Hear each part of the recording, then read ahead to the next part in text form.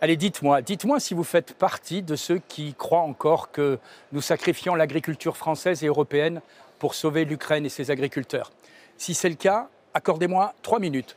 Trois minutes pour vous démontrer comment l'Europe risque de voir son agriculture écrasée par une discrète manipulation américaine et une concurrence déloyale généralisée. Car il est temps de dénoncer cette mascarade et de défendre l'intérêt de nos nations, ceux de nos agriculteurs français, de nos populations et de notre souveraineté alimentaire. En Ukraine, les moissons macabres de la guerre laissent place à un scandale historique et humain tout aussi vertigineux, celui de la confiscation des terres agricoles ukrainiennes par des oligarques corrompus et des fonds vautours américains.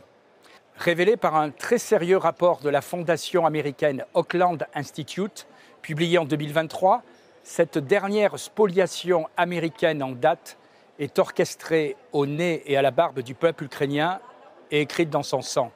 Elle puise son origine dès 2014, lorsque les faucons américains poussèrent l'Ukraine dans un conflit territorial au Donbass, ouvrant la voie au déclassement économique du pays, puis, dix ans après, dans une guerre ouverte avec la Russie. Puisque le premier principe de la guerre, c'est qu'elle coûte cher, le prix à payer fut celui de l'explosion de la dette extérieure et par conséquence d'une mise sous tutelle par les créanciers de l'Ukraine de son agenda politique et économique. Ainsi, à partir de 2021, un chantage continu à l'accès au financement imposé par le Fonds monétaire international et les institutions financières a forcé l'Ukraine à mettre en vente ses terres agricoles. Sous la pression des créanciers internationaux, Zelensky a orchestré la mise en vente du grenier de l'Europe, soit 41 millions d'hectares de terres agricoles.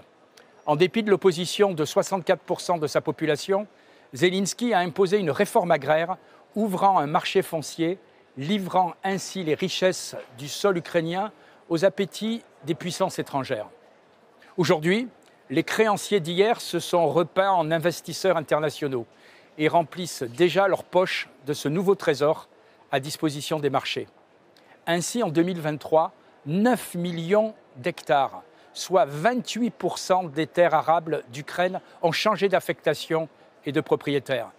D'ailleurs, ces nouveaux propriétaires, des oligarques connus pour être corrompus et des fonds anglo-saxons opaques qui pratiquent l'évasion fiscale, montrent tous ensemble, et une fois de plus, que ce pays est miné par la grande corruption à tous les niveaux, comme le précisait d'ailleurs la Cour des comptes de l'Union européenne dans son rapport dès septembre 2021. Mais les conséquences de cette affaire vont bien au-delà de l'Ukraine, car le rapport oublie de préciser que cette situation crée une concurrence déloyale pour les agriculteurs français et européens. Avec l'ouverture des quotas sur le poulet et sur le blé ukrainien, nos marchés sont inondés de produits à bas coût, subventionnés par des entreprises et des capitaux étrangers, mettant en péril notre propre agriculture. Tout ce sinistre montage est piloté par les États-Unis et leur volonté de transformer l'Ukraine en une plateforme agricole au service des intérêts occidentaux, mais au détriment de sa souveraineté. Zelensky, au lieu de protéger les ressources de son pays, se plie aux exigences de Washington, sacrifiant la vie et l'avenir de millions d'Ukrainiens pour satisfaire les appétits de ses investisseurs étrangers. Car comme le démontre le rapport de l'Auckland Institute, la guerre en Ukraine n'est pas seulement militaire.